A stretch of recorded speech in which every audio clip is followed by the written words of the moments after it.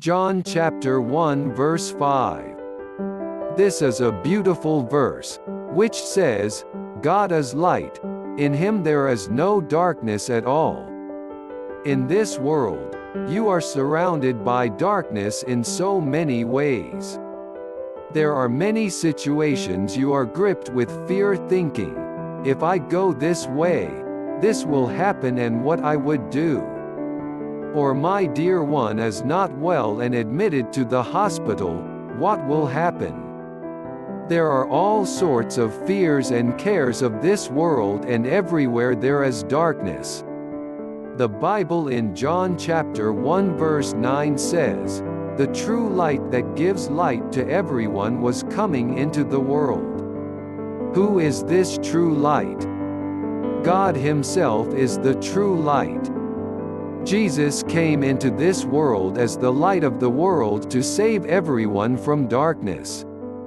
The Psalm, David, from his very own experience explains in Psalm chapter 18 verse 28 and 2 Samuel chapter 22 verse 29 how the Lord turns all the darkness into light. God is light. Jesus also came as the light of the world. When we have problems, we have to bring it to Him. This is exactly what David did. If you read Psalm chapter 23 verse 1, David says, The Lord is my shepherd. I shall not want. He says that he does not have any worries, he was always in the light and did not have any darkness at all. Especially, if you read verse 4, he says, Even if I walk through the valley of death, I will fear no evil, for you are with me.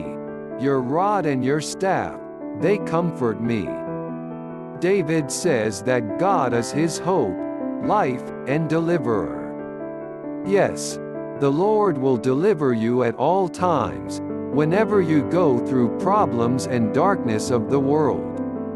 Right now, give all your worries, darkness, and problems into the hands of God. According to the Bible in Colossians chapter 1 verse 13, God the Father will deliver you from the powers of darkness. We are going to pray and look to the Lord who can deliver you from all evil and darkness right now. Do you believe it?